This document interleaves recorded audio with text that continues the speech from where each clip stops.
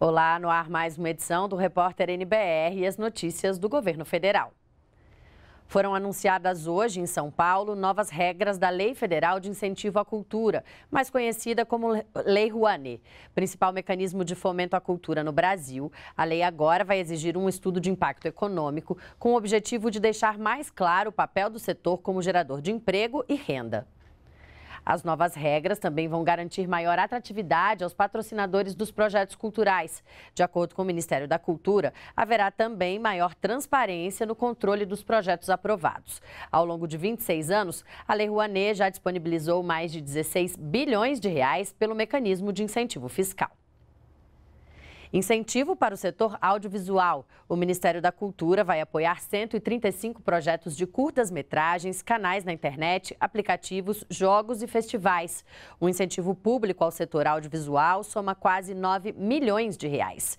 Além de levar novas produções para o público brasileiro, a meta é ampliar a participação da chamada economia criativa.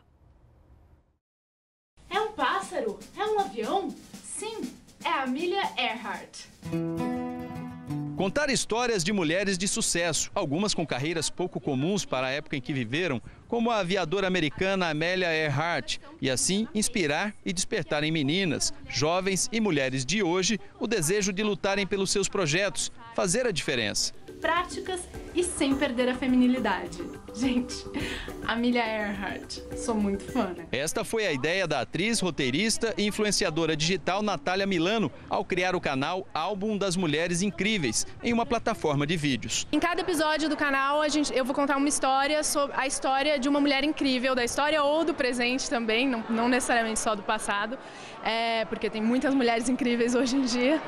E e a ideia surgiu porque a Amelia Earhart, eu li, quando eu estava lendo sobre ela, eu vi que ela mantinha um álbum de recortes quando ela era criança, com matérias sobre mulheres é, que, que trabalhavam em carreiras pouco comuns para as mulheres na época, para se inspirar. O canal de vídeos da Natália foi um dos 135 projetos selecionados pelo Programa Nacional de Fomento ao Audiovisual, lançado em julho pelo Ministério da Cultura, que teve os resultados divulgados agora. O PROAV é o maior pacote com recursos próprios do MINC desde 2011. São cinco editais com repasses de 8 milhões e 680 mil reais em recursos para produções audiovisuais. Sobretudo projetos de jovens é, roteiristas, jovens vlogueiros, jovens realizadores. Né?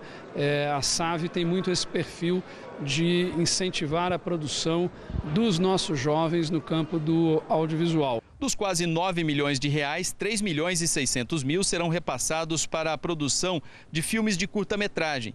3 milhões na realização de 22 festivais e mostras audiovisuais. 480 mil no desenvolvimento de roteiros feitos por novos profissionais. 800 mil para canais culturais na web e outros 800 mil reais serão revertidos para o desenvolvimento de aplicativos e jogos eletrônicos culturais. O projeto de Samira Almeida foi selecionado neste último edital. É um aplicativo para que as pessoas criem histórias que poderão ser guardadas ou compartilhadas. Uma experiência de leitura de livros de imagens para leitores de todas as idades. A gente queria fazer uma inovação na experiência de leitura e a gente precisava de um aporte para conseguir fazer isso.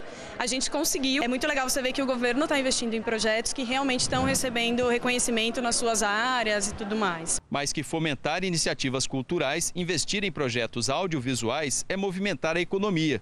Segundo dados do Ministério da Cultura, o setor tem hoje 6.500 empresas, responsáveis por 95 mil empregos diretos e 240 mil indiretos. São atividades altamente geradoras de emprego, geram mais empregos do que a média da economia brasileira, proporcionalmente ao investimento, e também é, tem salários que correspondem a mais do que a média dos salários da economia brasileira.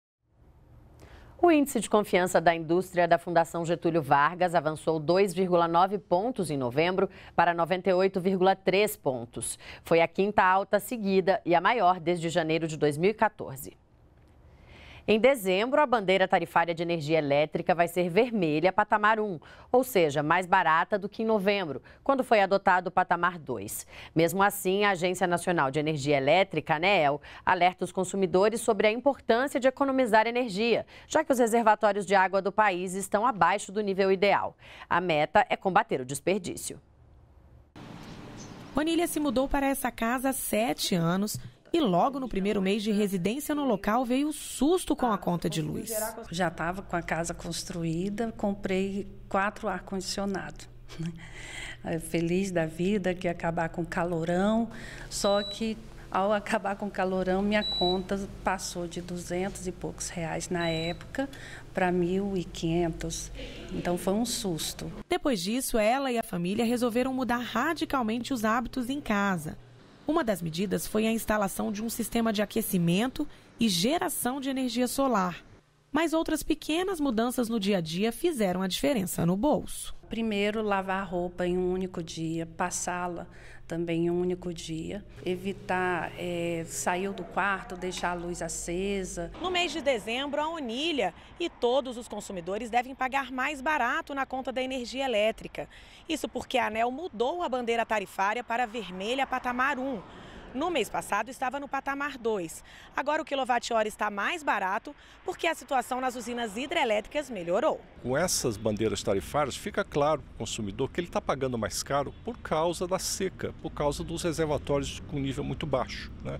Antigamente isso não aparecia, simplesmente crescia o valor da tarifa e o consumidor não sabia exatamente por quê. Mas mesmo com a melhora na bandeira tarifária, os consumidores precisam continuar atentos e adotando medidas de economia. A regra é sempre economizar energia, sempre é, aquelas tarefas básicas, aquelas procedimentos básicos, trocar as lâmpadas antigas incandescentes, é, usar menos o chuveiro elétrico, usar menos o ferro de passar-roupa, até alguns equipamentos como, por exemplo, um secador de cabelo, isso gasta muita energia. Então, use o mínimo possível, de preferência não use, certo? Para economizar energia. Termina hoje o prazo para a renovação dos contratos do Fundo de Financiamento Estudantil, o FIES, do segundo semestre deste ano. Os contratos do FIES devem ser renovados a cada semestre. O pedido é feito pelas instituições de ensino e, em seguida, os estudantes devem validar as informações. Quem não renovar o contrato até o fim do dia vai ficar sem o financiamento para o semestre, mas pode tentar de novo no semestre que vem. O prazo para a renovação do FIES já foi prorrogado duas vezes e, de acordo com o Ministério da Educação, não será mais estendido. Nós ficamos por aqui. Continue com a gente na NBR, a TV do Governo Federal.